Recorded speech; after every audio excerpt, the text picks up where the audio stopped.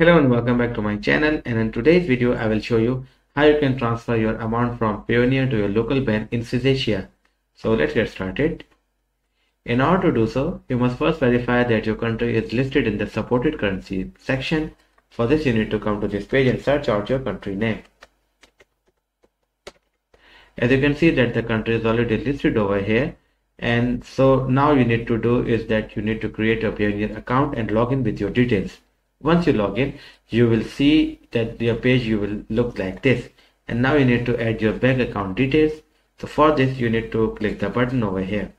Once you click you will be coming to this home page uh, with this page layout and you need to select one of the options.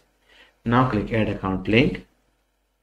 Provide the necessary details regarding your bank and especially in the uh, section of bank country you need to select your country.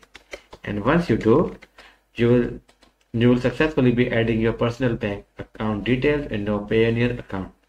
And after this, you can come to the home page anytime and to transfer funds under the available balance section. You can then click withdraw funds or transfer amount link over here. And this is how you can easily transfer your Payoneer amount from Payoneer to your local bank. Thank you for watching the video. And if you have any questions, let me know in the comment section.